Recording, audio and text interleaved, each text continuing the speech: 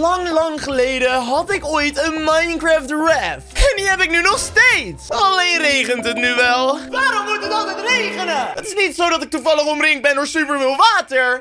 Omdat ik op een bootje zit. Een Minecraft raft is inderdaad een klein bootje waar spulletjes op aanspoelen. En met die spulletjes kan ik mijn raft steeds groter en groter maken. Ik was hier een tijdje terug bezig met het maken van superveel huizen en zelfs een bank. En oh ja, hier was zelfs een geheime kluis. Ook staat er daar de verte kip. Hoi kip! En dan kijk je heel in de verte, zie je zelfs een vliegend huis. Voor vandaag wil ik wat leuks bouwen. Ik heb hier namelijk een heel klein boerderijtje wat nog over is. Want ja, eerst was dit één mega boerderij. Alleen is het kleiner en kleiner geworden. Ik heb meer ruimte nodig waar ik spulletjes op kan farmen. En daarom leek het mij een super gaaf idee om een mega farmtoren te maken. Eerst doe ik even... Oh, ik kan nog niet slapen. Hoezo is het nou geen nacht? Ik moet echt een klok hebben. Ik weet niet eens hoe laat het is. Hoe maak je ook weer een klok in Minecraft? Volgens mij heb je dan redstone en goud nodig. Als je namelijk gaat slapen, dan is de nacht sneller voorbij. En als de nacht voorbij is, dan stopt het vaak ook gelijk met regenen. Vind ik wel fijn, maar ja, we hebben dus wel eerst goud nodig. Om te kijken hoe laat het is. Wow, hier ligt veel goud in. Dat is perfect.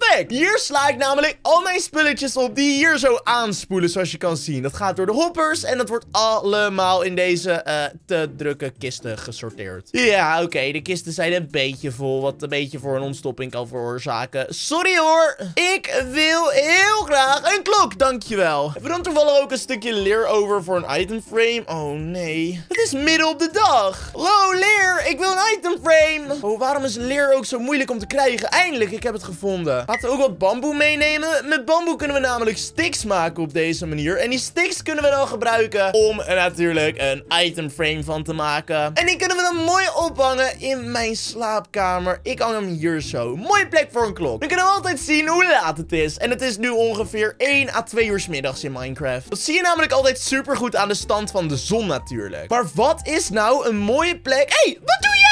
Hier? Hallo, jij hoort in je hok te zitten, meneer de koe. Oh, deze lift, dit wordt ook nooit een goed idee, denk ik. Dus ik ga hem denk ik weer weghalen, hoor. Ik heb alleen weer meer dirt nodig. Maar dat moet hier, als het goed is, wel liggen. Kijk eens aan, genoeg dirt. Al dit dirt kunnen we dan namelijk dus gebruiken voor onze farmtoren. En ja, ik hou jou wel later een keertje naar binnen, meneer de koe. Jongen, jongen. Maar wat is nou een mooie plek voor een farmtoren? We zouden hem daar midden op zee kunnen maken. Dat is best wel cool. Maar we kunnen hem ook gewoon hier zo maken. Hier is het namelijk super leeg. Dus hier past sowieso wel een mega farmtoren. Lijkt mij dan tenminste. Ik heb de boot aan de kant gezet. En dan kunnen we beginnen met bouwen. We moeten wel een beetje tellen waar het midden is. Ik wil namelijk dus een piramide bouwen. 1, 2, 3, 4, 5, 6, 7, 8, 9, 10, 11, 12, 13, 14, 15. De helft van 15, 7, 7 op het achtste blokje. 1, 2, 3, 4, 5, 6, 7, 8. Oeh, dan staat we er net naast. Maar dit wordt dus het midden. Dan moeten we ook acht blokjes deze kant op. Of nee, laten we er negen doen. 1, 2, 3, 8, 9. Voilà. Wow! Kijk die lichtgevende inktvis. Hallo lichtgevende inktvis. Die is zo cool. Wist je trouwens dat er iets super raars gebeurt al klik je nu op het duimpje omhoog? Duimpje omhoog verandert dan namelijk in een enorme disco. Probeer er maar op te klikken in 3,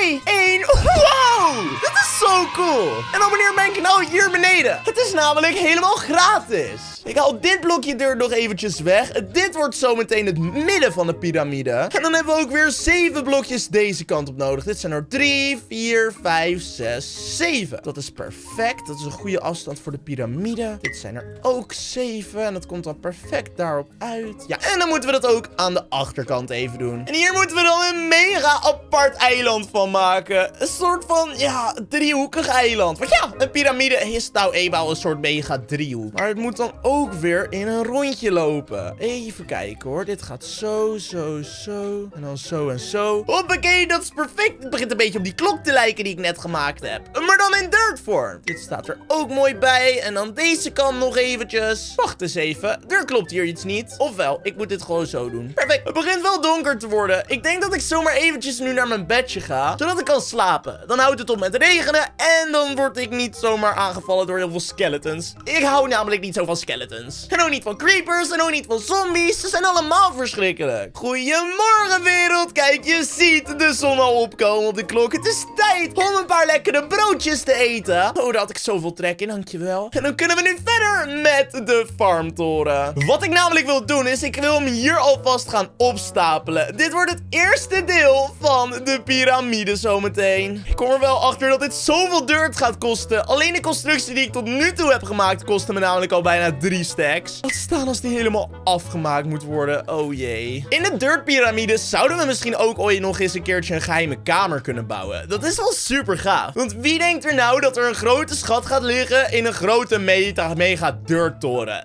Dat verwacht toch niemand? Denk ik? Het is tijd om meer dirt op te halen. Hallo, ik heb jou nodig, ik heb jou nodig. Jou, jou en jou ook nodig. Dankjewel. Ik denk dat we hier wel genoeg aan hebben. Super handig zo'n automatische sorteermachine. Maar ja, oké, zo netjes sorteert hij het dan ook weer niet. Oh, het is tijd om het laatste stukje erop te zetten. Voilà. Ja, trouwens, ik moet het nog even open houden volgens mij. Het wordt namelijk een hele aparte farmtoren. Maar ik wil hem een beetje laten automatiseren, als je snapt wat ik bedoel. Wat mijn idee namelijk is, is dat overal farmcrops kunnen liggen. En dat er uiteindelijk water uit de top komt. Wat alles, wat ervoor zorgt dat alles in één keer geplukt wordt. Dat valt dan trouwens allemaal in de zee. Dat is niet heel handig. We moeten hier even een platform omheen bouwen zometeen. Dat ga ik denk, ik doen van Dark Oakwood. Dat is wel super mooi namelijk. Laten we maar een home maken. En laten we ook gelijk een paar worteltjes plukken. Dat worden namelijk de eerste wortels die we kunnen planten zometeen. Wat wel handig is naar mijn mening. Ik heb er 34. Zal dat genoeg zijn? Of heb ik er meer nodig? Ik begin gewoon een beetje met deze hele kant zo op deze manier te ploegen. En het is nog best wel moeilijk al. Val ik de hele tijd ergens op neer door te springen. En ik moet ook ervoor zorgen dat er wat meer water komt. Het verandert namelijk allemaal direct weer in dirt. Is het zo droog hier midden op zee dan? Dat kan toch niet? Dit staat tenminste allemaal op hun plek. Perfect. Bedankt voor het kijken naar deze video. Klik op een van de twee video's die hiernaast mee kunnen zien staan. Die moet je gezien hebben. Verwacht je op. Klik er nu eentje aan. Doei doei.